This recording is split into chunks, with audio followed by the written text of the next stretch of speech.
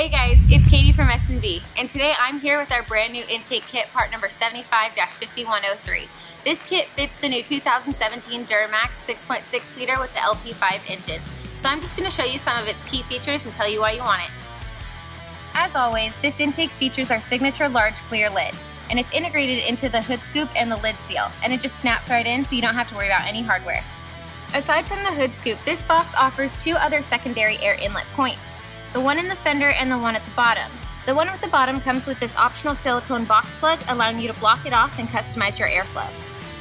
As you can see, the Duramax kit has a huge box to house the largest possible filter, and as always, you get your choice of cotton cleanable or dry extendable. Alright, so that's it. That was a quick overview on our brand new intake kit for the 2017 Duramax the 6.6 liter engine. We did test this kit and it does flow 43% better over stock.